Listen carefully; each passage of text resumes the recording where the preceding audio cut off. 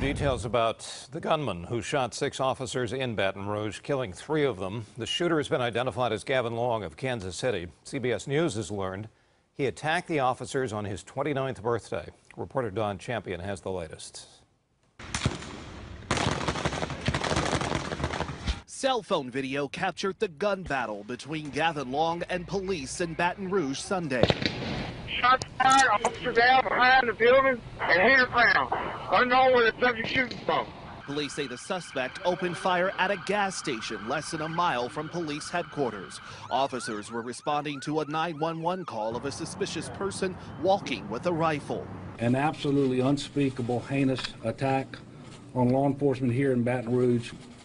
The violence, the hatred just has to stop.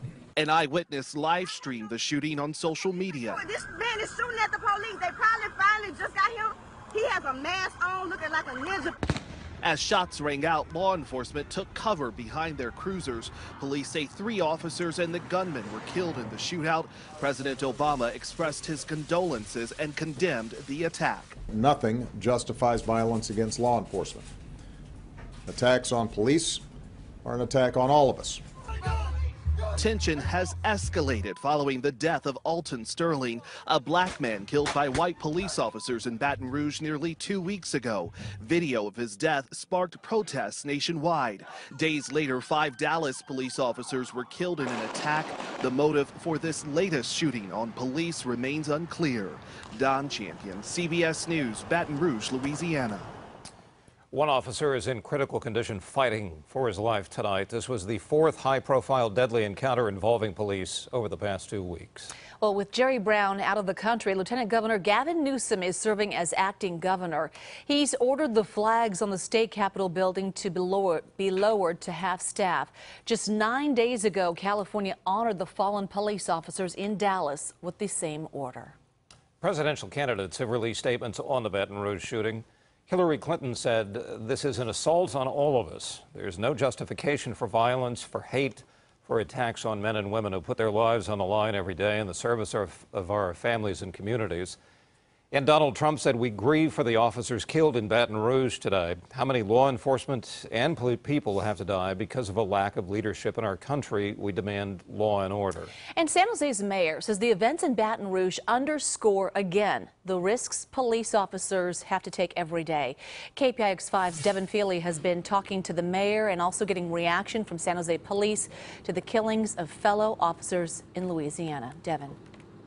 Yeah, the prevailing mood amongst law enforcement officers here in San Jose seems to be one of profound sadness and simultaneously profound frustration that they have yet again been targeted with deadly results.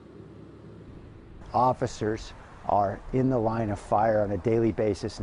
At police headquarters in San Jose, flags are once again lowered to half staff, while the fading tributes to the five fallen officers in Dallas had yet to be swept away before a fresh tragedy struck the law enforcement community. The reality is this is a very dangerous job, and these folks are doing everything they can to protect us. And as President Obama said, uh, an attack on a police officer is an attack on all of us. In the wake of the deadly Dallas shooting, San Jose police doubled up officers on patrol. So far after Baton Rouge, they have decided not to resume the practice. But a spokesperson for the department did release a statement saying that they had not, quote, received any credible information of threats, while adding that our officers have the ability to work two-person patrol cars if they wish. The Police Officers Association condemned what they described as this latest cowardly ambush. They also called on political leaders to increase funding for a department that has in recent years been understaffed and overworked. San Jose Mayor Sam Liccardo says the murder of the police officers in Baton Rouge is a tragic reminder of the dangerous and all too often deadly job that police officers perform every day. There are a lot of folks out there trying to protect us right now who feel that they're under siege and maybe genuinely under siege. So right now, the department's policy is that it is elective. If officers want to ride two to a car, they have that option. It's not clear how many officers are actually taking them up on that offer. In San Jose, Devin Fehely, KPIX 5.